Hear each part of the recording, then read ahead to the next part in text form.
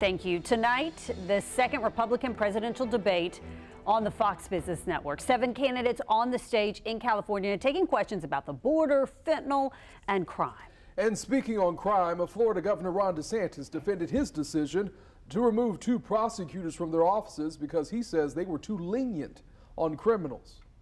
In Florida, we back the blue. We support the men and women of law enforcement. They are keeping us safe. We have a 50 year low in the crime rate. And yes, when I had two progressive prosecutors that weren't following the law in Florida, I removed them from their posts, and the people of Florida are safer as a result of it. And also tonight, entrepreneur Vivek Ramaswamy spoke about opioids and fentanyl use as drug overdoses are the leading cause of accidental death in the U.S. He says social media is playing a large part in children getting access to drugs.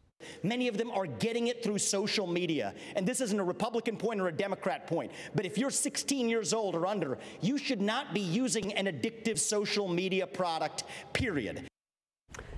Former President Donald Trump was not at that debate tonight. Instead, he spoke with former and current union members in the auto industry in Michigan amid their ongoing strike.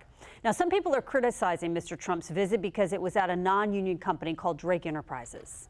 Before I stepped into the political arena seven years ago, I spent my whole life working alongside of Americans just like you. Now, I put everything on the line to fight for you I've risked it all to defend the working class from the corrupt political class that has spent decades sucking the life, wealth, and blood out of this country. Mr. Trump's visit comes one day after President Biden became the first sitting U.S. president to join the picket line, also alongside UAW members in Michigan.